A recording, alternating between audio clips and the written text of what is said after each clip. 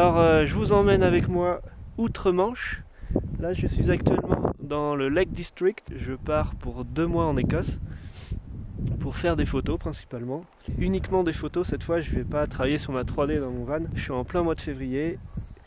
Donc deux mois, ça m'emmène jusqu'à euh, fin avril à peu près. C'est déjà magnifique, c'est mon deux, troisième jour dans le van. Je suis déjà en train de faire des photos. Donc voilà, tout droit par là l'Écosse. Ça promet d'être magnifique comme voyage. En tout cas, ça commence sur les chapeaux de roue. C'est parti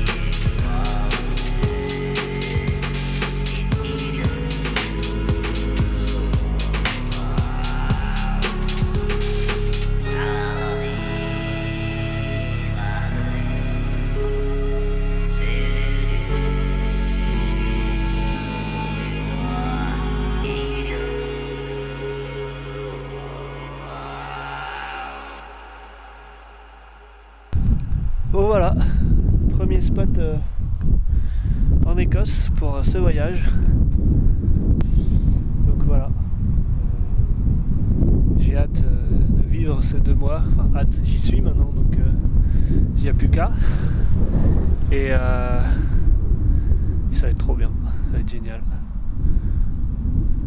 Il y a différentes problématiques de la vie en van de 1 euh, en hiver, de 2 dans des pays froids. Alors combiner les deux, voir ce que ça donne et euh, je vais vous montrer ça.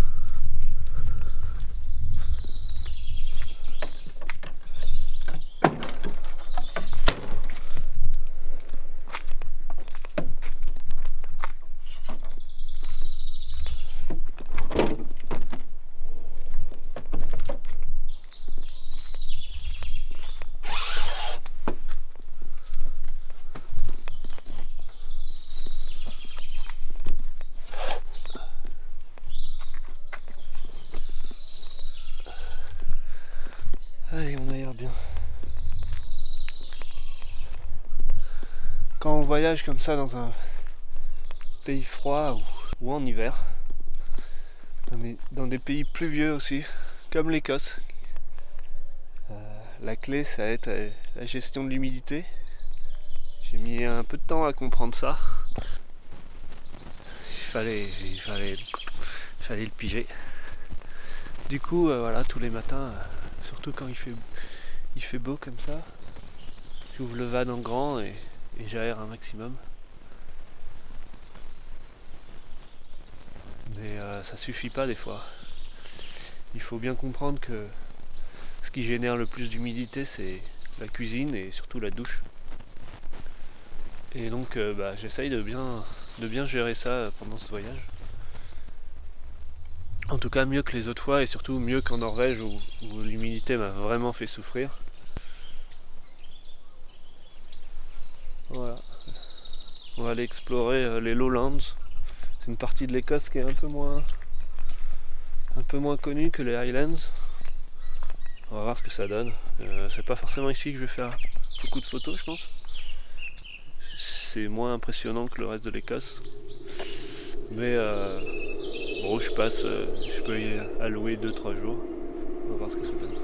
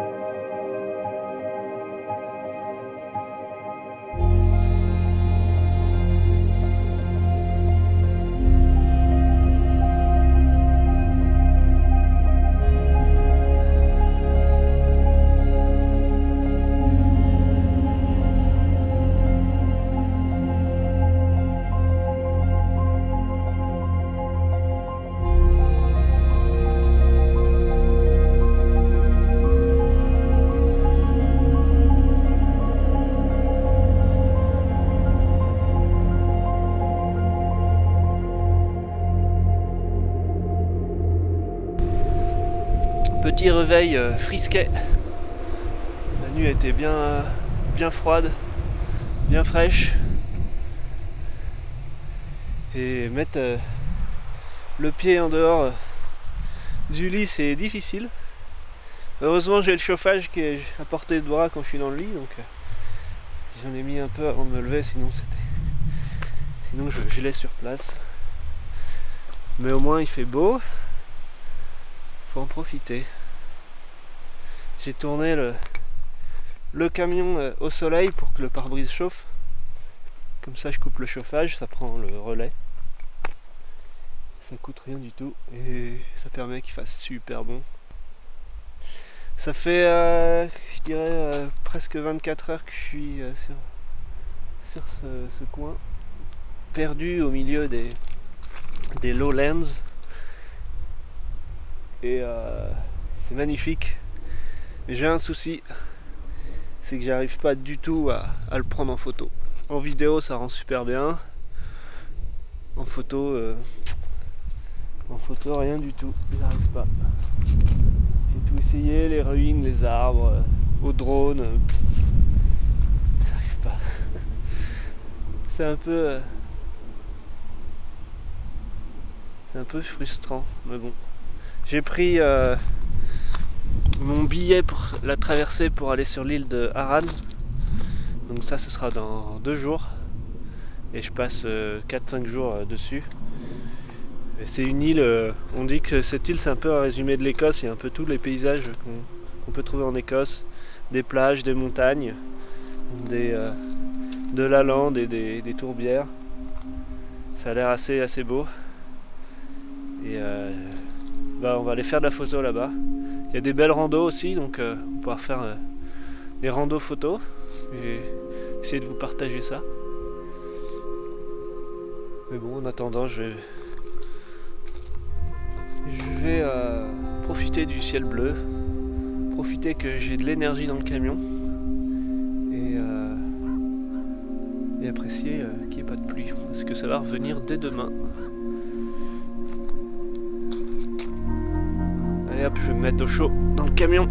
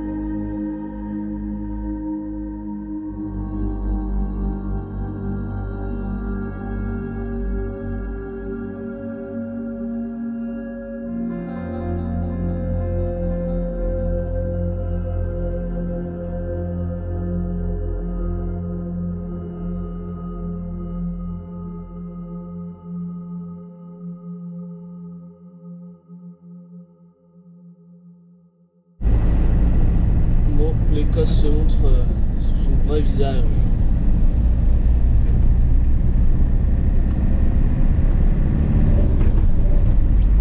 Bien sûr, a de la il faut faire la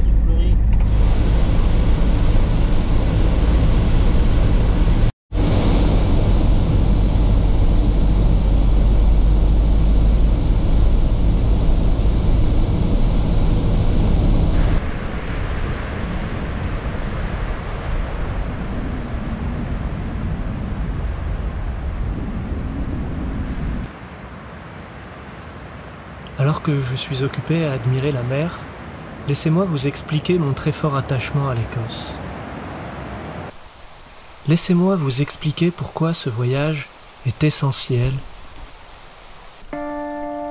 et ce que je viens y chercher. C'est ici, au creux de ces montagnes et de ces lochs, que se trouve la source de mon mode de vie. Tout est né ici, après un road trip en 2016, et suivi de quelques années de maturation pour voir ce projet éclore. Du temps et de la patience.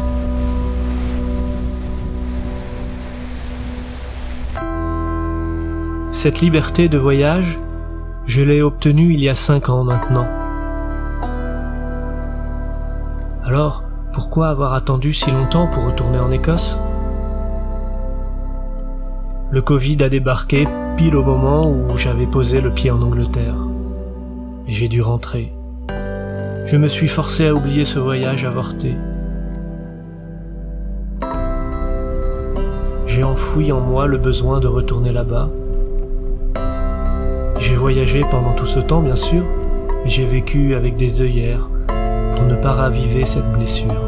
Et puis un jour, je me suis réveillé avec l'impérieuse nécessité d'y aller là, maintenant. Alors, en plein cœur de l'hiver, j'ai mis les voiles, sûr de moi. Mais ce que j'ignorais au moment où je retrouvais enfin l'Écosse, c'était l'intensité du choc qui sera provoqué par l'aboutissement d'un rêve. Il ne manquait plus qu'une chose pour que ce choc advienne, que je réalise que le rêve est en train de se réaliser sous mes yeux, là, maintenant.